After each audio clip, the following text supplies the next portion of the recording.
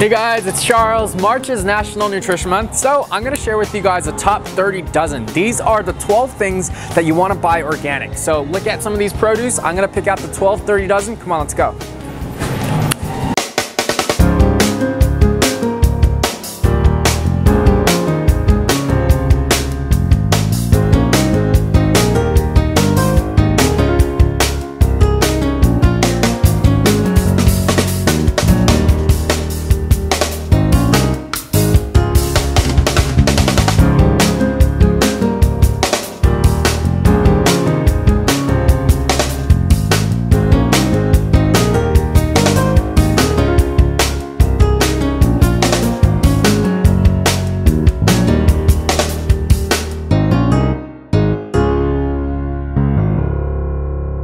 For the full list of the Dirty Dozen, check out charleschen.tv. Also, I have a list of things that you can buy non-organic, so just go check out the website. I'll see you guys there. Bye.